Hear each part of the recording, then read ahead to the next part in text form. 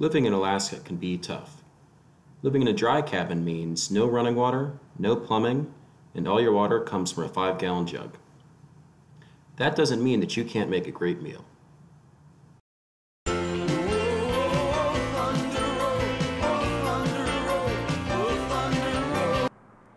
Hi, my name's Will. I live in a dry cabin in Fairbanks, Alaska. Like many of you, I've got a ton of moose meat in my freezer, and I don't know what to do with it. But I'm here to help. So, today, we're to make an all-American meal. Going to start out with some smoked salmon dip. Then, we're to move on to some Mucha Moose burgers, whole lot of meat, whole lot of flavor. Then we're to finish up with an all-American blueberry pie. 20 degrees? Don't worry about it. This is Fairbanks.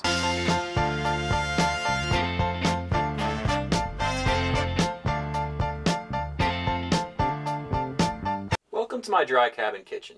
It's expansive, spacious, but you can't do lunges. You shouldn't be able to do lunges in a true dry cabin kitchen.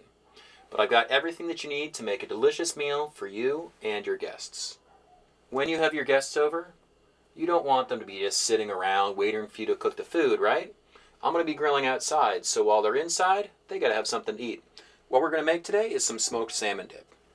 We have some smoked salmon, and we're going to make it a delicious, creamy dip that you can put on whatever you want while you're waiting for the food to get cooked. Now, the smoked salmon is going to be the star of your dip here. It's got that delicious, smoky, rich flavor that comes from salmon that swim up through those rivers. And you were out in those rivers too, and you spent the whole time in that river listening to your brother in law complain about how the in laws are moving with him, even though he should know that I've got this little dry cabin and it's amazing, but I'll tell you what, those in laws of mine are not going to make up those slushy steps out there, especially not the global warming. And you know, it's just getting warmer and warmer, and snow's falling off everywhere, and they're not going to move in here. To bring out the smokiness of the salmon, we're going to use some ingredients to make it really nice and creamy. We've got our sour cream, cream cheese, and mayonnaise. To add a little bit more flavor, we're going to use some fresh squeezed lemon juice, salt, of course, a little Tabasco for heat, and instead of capers, I'm going to use some pickled garlic. Delicious stuff. For that little garden tang, we're going to add some chopped green onions and some dried dill. Now we're going to mix this all together in our Cuisinart. Be careful when you load it in. These blades are sharp. Ow. Now we want to pulse our dip to really blend all of our delicious ingredients together. Hmm. Alright, smells fishy. Like it should. Now we've got our rich dip, we're going to serve it up in a bowl and send it out to our guests. So here's our plated salmon dip. Let's see what our guests think of it. Oh wow! Is I this think, I think uh, Nick gets the honor. Look how look how amazing that is. That's homemade. Will made this. That's Oh. I want to share this with my mother so she'll love me more. Yeah.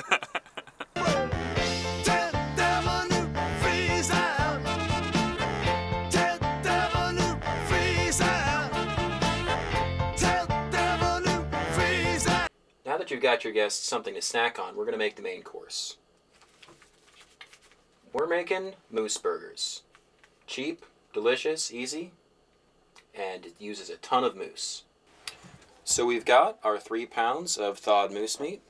We're going to add in two eggs.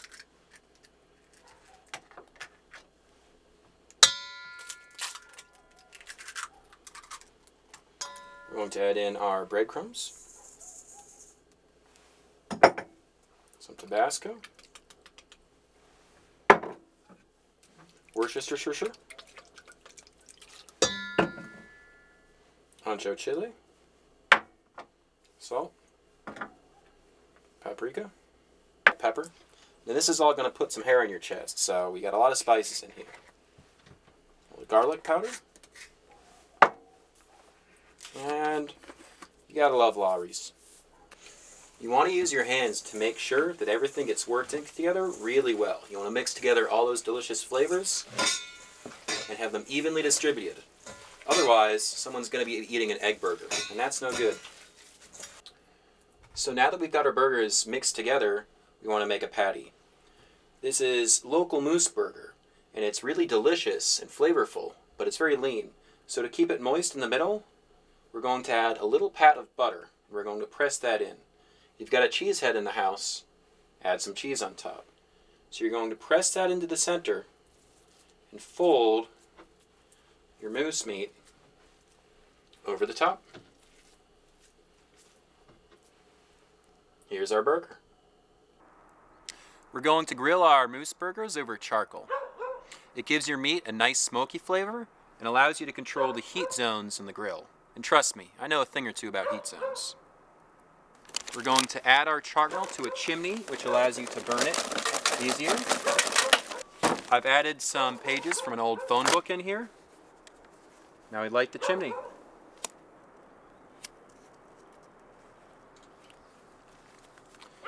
Now that our chimney's lighted, we're going to let these go until we see flames coming out of the top of the charcoal.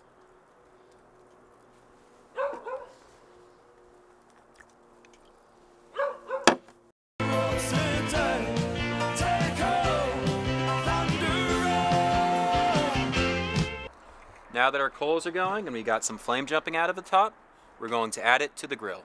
Make sure to clean your grill off before you put any meat on it.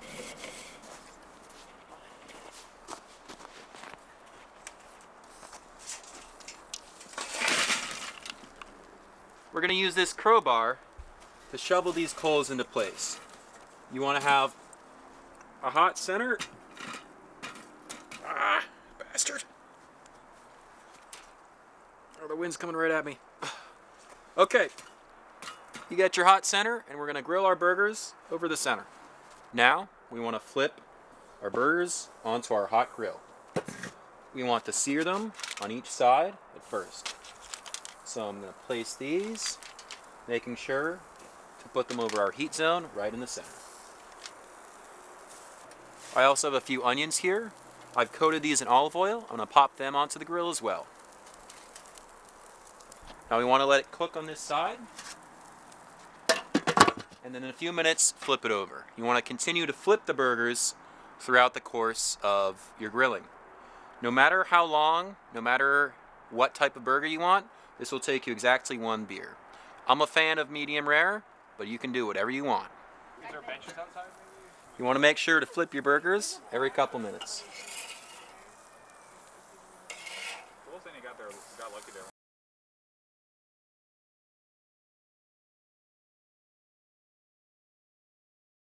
I squeeze this burger into an onion bun with lettuce, tomatoes, mustard, and some jalapeno hot sauce. Look at how the cheese is melted in the middle of the burger. Let's eat. This is the this is the good stuff. say, there is like one clean plate over by the lettuce too, if anyone wants like. What is this, Will? That is like Uh, jalapeno hot I think it's my first time eating moose, but it's not gonna be the last.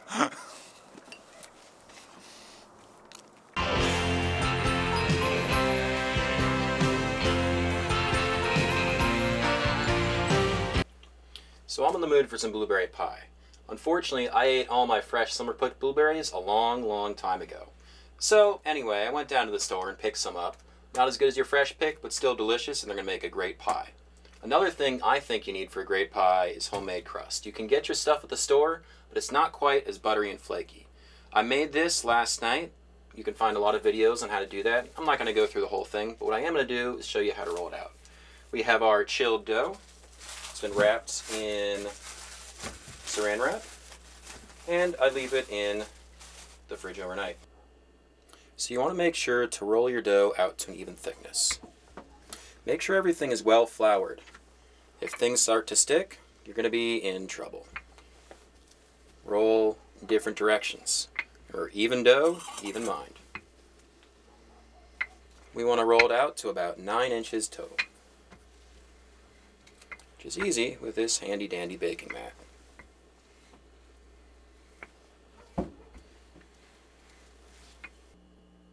Even dough, even mind. Now we've got our dough rolled out and we want to put it into a greased baking pan. Got my pie pan, got my dough.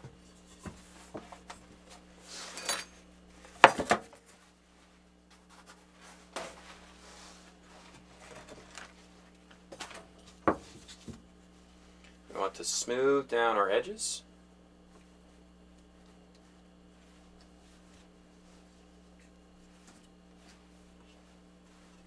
Thank you, Julia Child.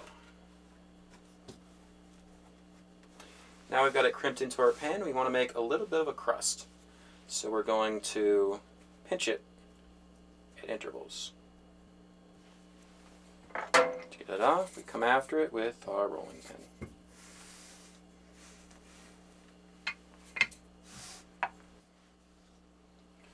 Want to detach our extra crust. There's our pie crust. Now we're going to make the filling for our pie. The base of this filling is going to be some blueberries.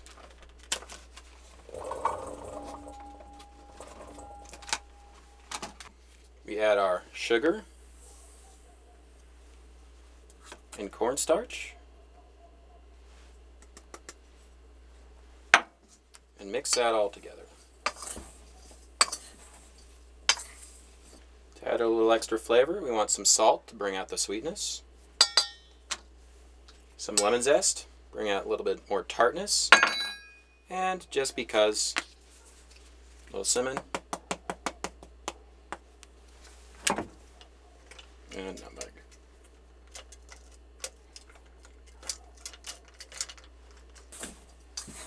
Delicious pie, 4th of July. Now that we've got our filling, we're going to add it into the pie crust. My heart is as full as this crust right now. I'm so excited for this pie to come out of the oven. Here's our blueberry pie filled. Now we're going to put a lattice on top of it. You can make any lattice you want, but this one is going to be American. So now we've got our lattice made. We've got a nice little American flag. I've also added in here a couple chips of butter. What these are going to do is prevent the blueberries from drying out on top. Now, we're going to put in the oven for about 50 minutes. Or you can just listen to Born in the USA on repeat about 10 times, maybe 11.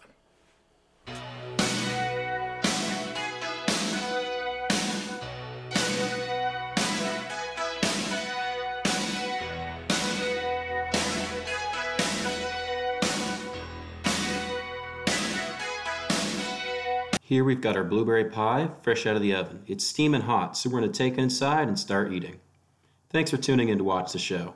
Man, well, this the is thing is, though, is that all my Yeah. butter knives are Uh, dirty. but you know, it's like, you, I was like, hey, it "Ah, matches. this it will work." matches. does, it does the job. You- like Orange drink, orange pencil. Like, Yeah.